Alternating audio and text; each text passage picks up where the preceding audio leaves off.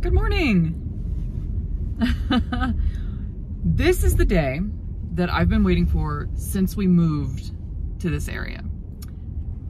The beginning of summer kind of kicks off here in our little village with um, a big to-do centered around hot air balloons. Ooh. So yesterday's launch got canceled due to wind, but today's looking pretty good. So we're gonna go out, go up a mountain a little ways and try to watch some balloons take off. Mm, wish us luck.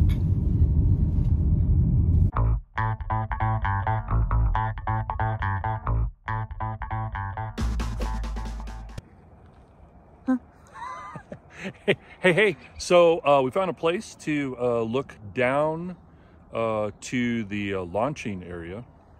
Uh, we don't see anything yet, but it's a beautiful day. And as you can see behind us, uh, hopefully uh, that'll be filled with a bunch of hot air balloons. So yeah, this is really, really cool. And if it doesn't happen, apparently the weather's normally pretty bad on this weekend.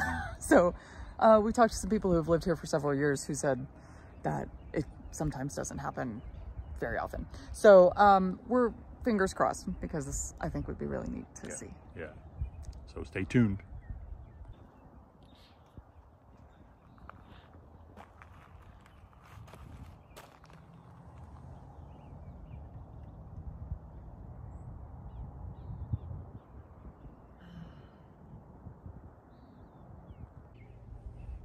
So we um, we're waiting and it looks like it's a go. So that's really cool. We can see um, balloons being filled.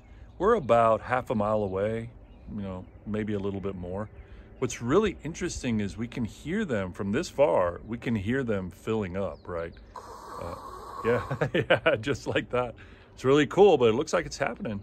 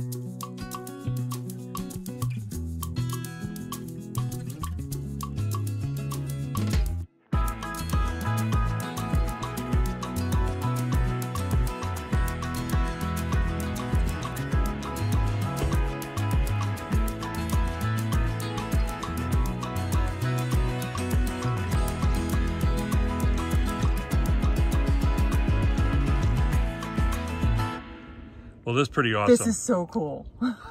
really, really awesome. It's been, I mean, just amazing. They, uh, we were talking about they, they're so like, I don't know, serene. It looks like they're being dangled by a string yeah. from, you know, somewhere, but really, really cool. Glad we made it and glad it happened. Yeah. And we've been out here for about an hour. Um, most of them taken off. There's still some filling up. So we have a few more before the sky is completely full, but this was really, really cool. Yeah, we've counted about 32, so really awesome. And it couldn't have been on a more beautiful day. So.